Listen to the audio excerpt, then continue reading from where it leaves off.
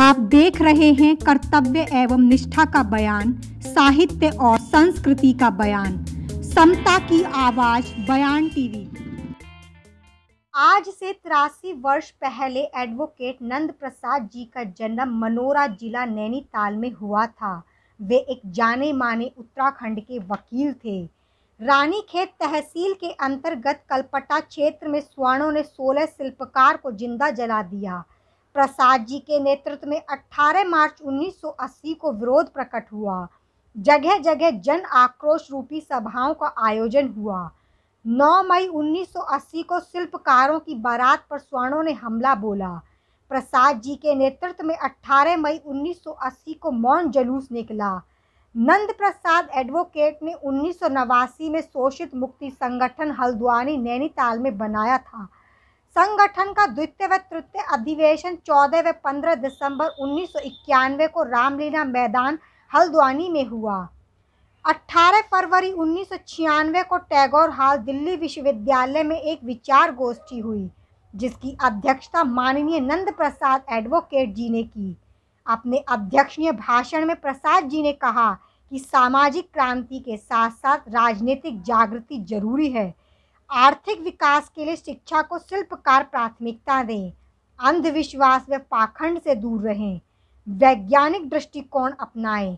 दलित उत्पीड़न के लिए अपनी संगठन शक्ति को मज़बूत करें। जय भीम साथियों, मेरे साथ उत्तराखंड के जाने माने समाज चिंतक शिक्षाविद प्रशासक कृष्ण गोपाल जी हैं। उनका संबंध एडवोकेट नंद प्रसाद जी से लंबे समय से रहा, जो एक अच्छे जाने माने उत्तराखंड के आंदोलनकारी रहे और उनका हाई कोर्ट में एक विशेष रूप से प्रतिनिधित्व भी रहा। जानते हैं गोपाल कृष्ण जी से एडवोकेट नंद प्रसाद जी के बारे में। सर आपका एडवोकेट नंद प्रसाद जी के साथ संपर्क कब और कैसे हुआ? कैसे और कब? दोनों बड़े महत्वपूर्ण प्रश्न हैं।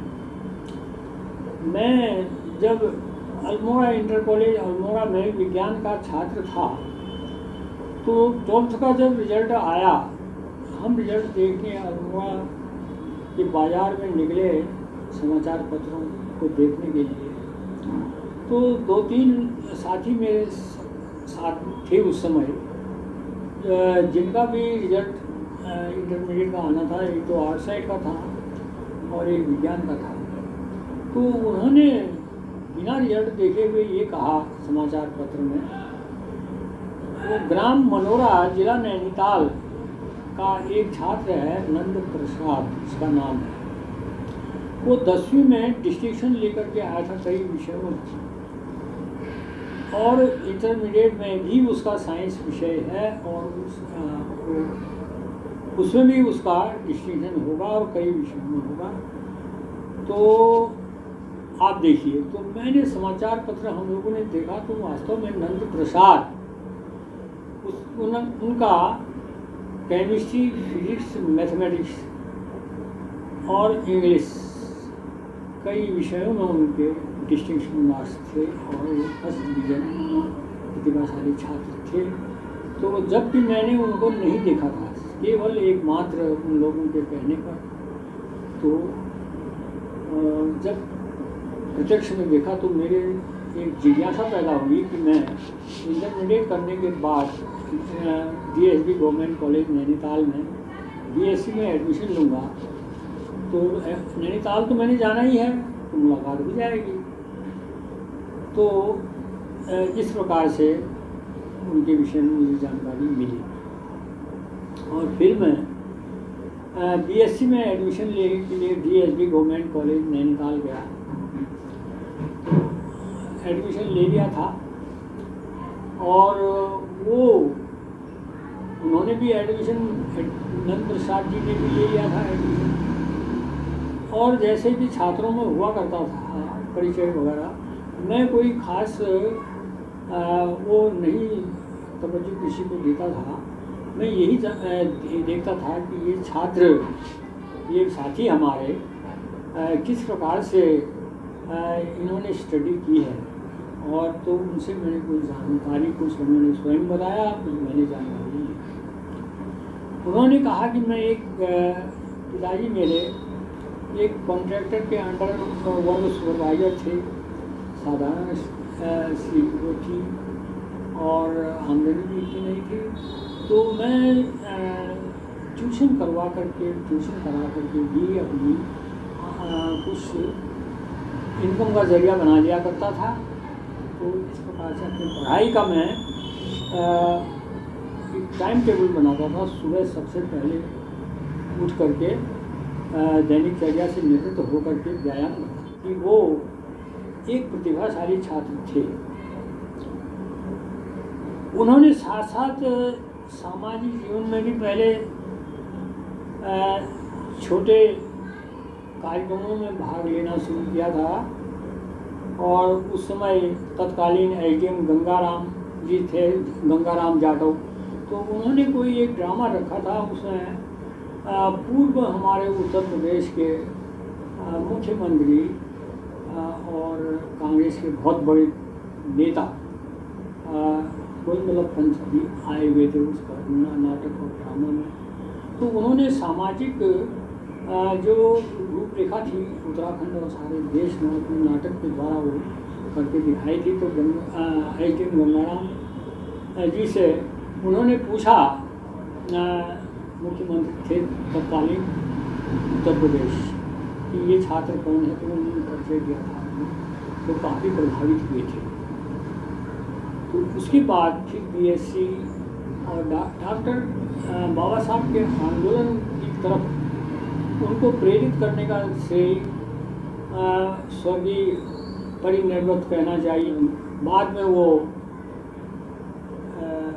एडीएम डीएम और उत्तर प्रदेश में काफ़ी ऊँचे पद पर कमिश्नर हुए थे एस सी एस टी तो उनको जाता है। तो उन्होंने उनको बाबा साहब डॉक्टर अंबेडकर का, doctor Ambedkar Baba Sahab doctor Ambedkar and his movement Dhananjay की, अ,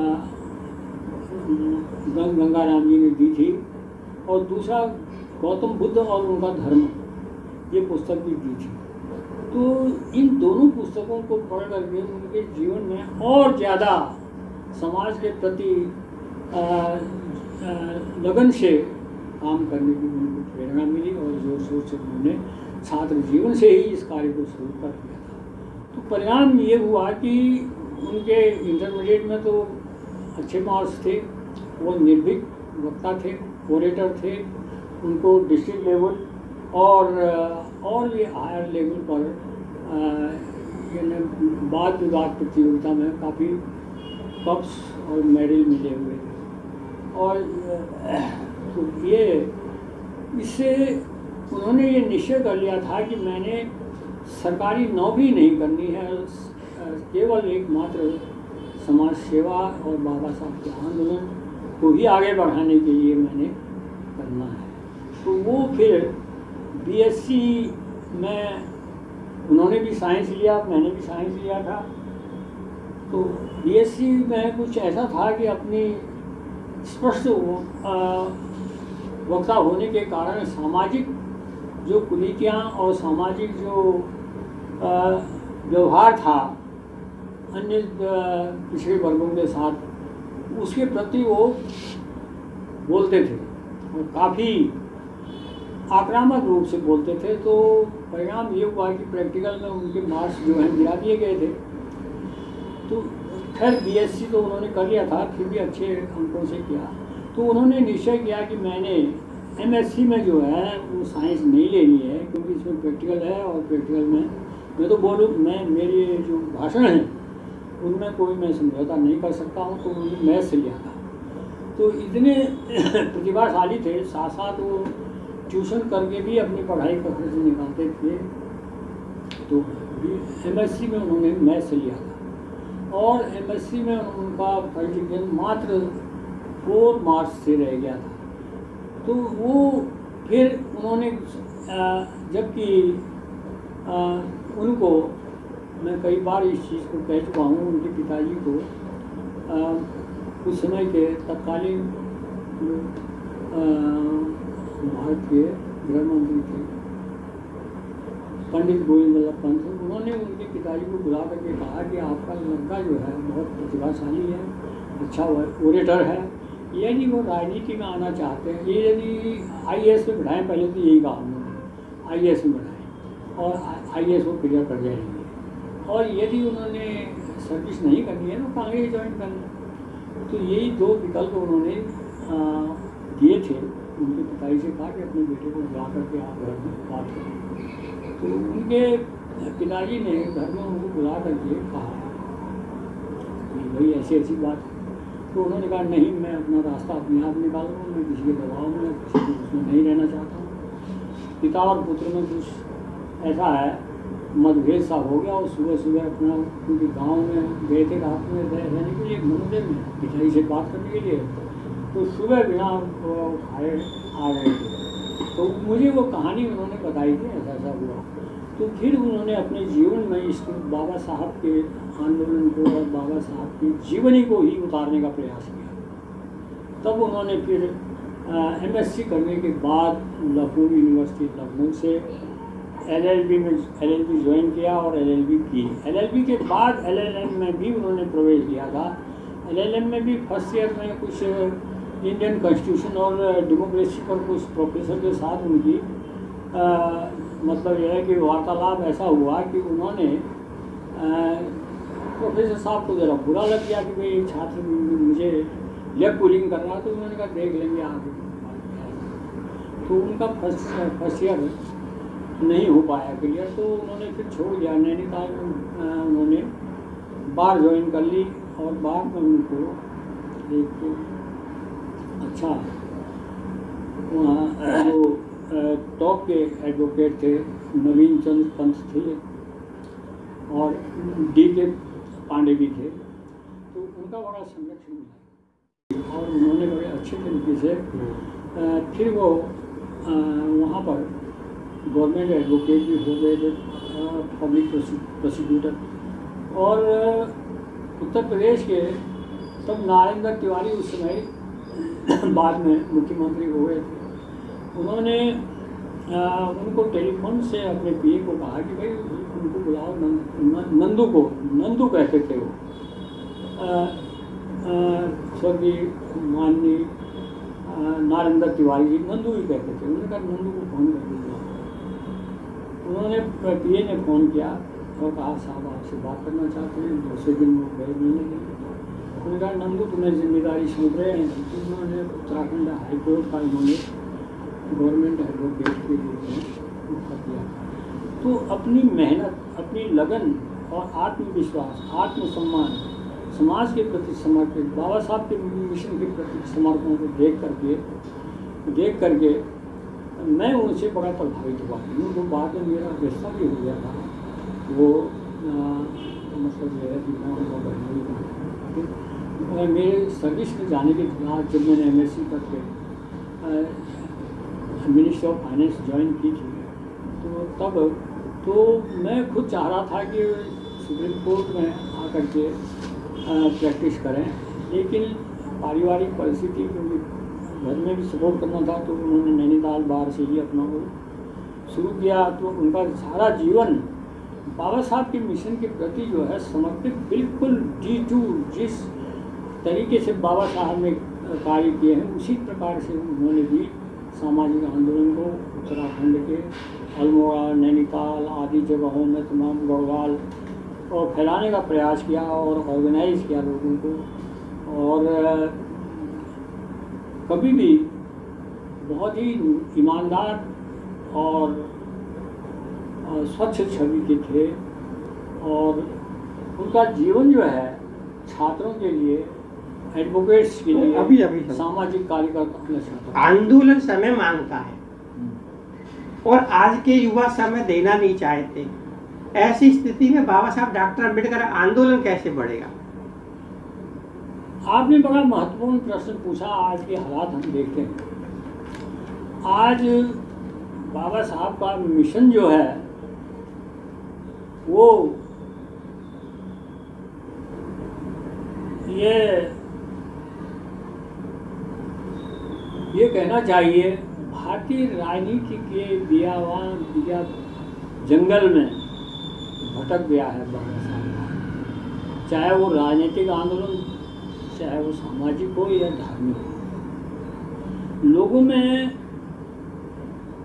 जिस प्रकार से बाबा साहब चाहते थे, नवयुवकों को प्रेरित करके समाज को सामाजिक, राजनीतिक आर्थिक और धार्मिक रीति से स्वतंत्र करें, वो नहीं हो पाने का कारण व्यक्तिगत लालच, पद प्रतिष्ठा और ईमानदारी से काम न करना और जो भी कार्य है, उसमें समाज को महत्व ना दे करके अपने को महत्व देने लग गए तो इससे बाबा साहब का आंदोलन आज, मैं तो ये कहूँगा चाहे कोई इसको स्वीकार करे, ना करे, बाबा साहब का आंदोलन यदि समर्पित और त्यागी और विद्वान, हर क्षेत्र में विद्वान, चाहे वो सामाजिक, राजनीतिक हो, चाहे वो किसी भी क्षेत्र में हो,